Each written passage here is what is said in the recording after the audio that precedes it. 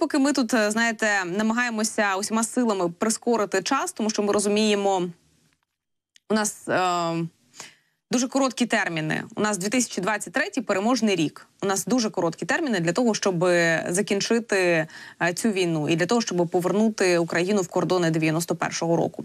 І ми розуміємо, що наступні 10 днів, щонайменше, будуть для нас такими, ну якщо не вирішальними, то дуже показовими. А наступні 2-3 місяці точно мають бути вирішальними, тому що це те вікно можливостей, коли ми можемо і маємо діяти, коли ми можемо і маємо повернути е, наші українські, але тимчасово окуповані території. І от тепер ми намагаємося прискорити цей час для того, щоб скористатися максимально цим е, вікном можливостей, і для того, щоб максимально е, пояснити нашим партнерам, нашим союзникам, е, що у нас дуже мало часу, і нам вся необхідна зброя, яку ми у вас там просили, або яку ви нам пообіцяли надати, вона нам потрібна ще на вчора, а краще би тиждень тому. Але давайте зараз, тому що от у нас от вже дуже сильно терміни горять.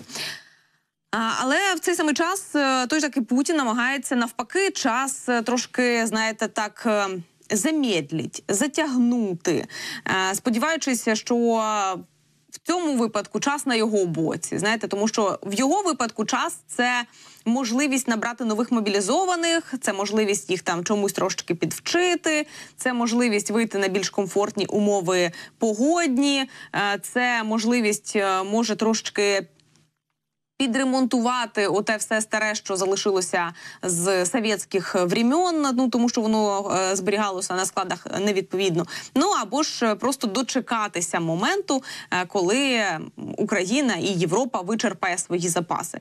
І от ти дивишся на це все і розумієш, що той, кому 70 років, думає, що час на його боці. Розумієте, в чому сюр? Серйозно, ти думаєш, час такий невблаганний до тебе? Він тебе обходить стороною. Ну до цього обходив, але ж не завжди так буде. Ми бачимо, як карма повертається на болота. Е, Ті, хто довго пишалися тим, що у них в квартирі газ, за останні от два дні мають два вибухи газу в багатоповерхівках або в п'ятиповерхівках. Ну, ми бачимо, як карма повертається туди. Тому я би не сильно розраховувала на той час, що він обійде. Путіна е, стороною або ж не побачить його, але він таки тягне час, бо вважає, що Україна і Захід вичерпають свої можливості, свої оборонні спроможності і свою техніку швидше ніж Росія. Він досі сподівається, що у світа зброї менше ніж на Росії. Е, Або ж сподівається, що ніхто не, не дізнається, скільки залишилося на Росії. А ми дізналися. Я потім розкажу вам, скільки там залишилося. Ну і е, відповідно, ти думаєш так, знаєш, е, от майже рік, майже рік, як він ще й досі вважає, що хтось втомився від війни в Україні, і що Європа в якийсь момент скаже, та все досить. Допомагали, хватить, не будемо більше. Він і досі думає про те, що е, якщо там почати бомбити мирні міста, то українці вийдуть і скажуть: так, все, давайте підемо на перемовини. Ми, ми втомилися. Він ще й досі не розуміє, в якому світі він живе. Та й взагалі в мене питання в тому, чи розуміє він щось, тому що там надто складний механізм в його голові, і там точно десь якісь шайбочки повилітали і. Е, вже давно е, нічого не, не розуміють з того, що відбувається у світі і в Україні, зокрема. Ну, відповідно, е, естонська розвідка каже про те, що дуже стурбована зараз навчаннями РФ, які вона запланувала на кінець цього року. Е, зокрема, переживає через Балтію, бо вважає найуразливішим регіоном у військовому альянсі з 30 членів відповідно.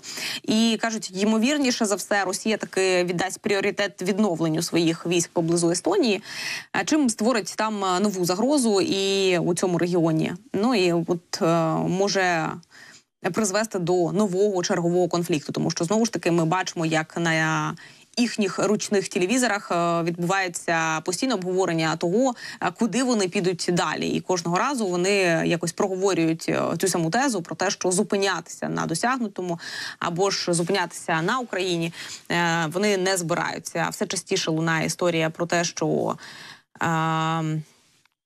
Можливо, далі буде Польща або ж країни Балтії, або ж іще якісь там історії.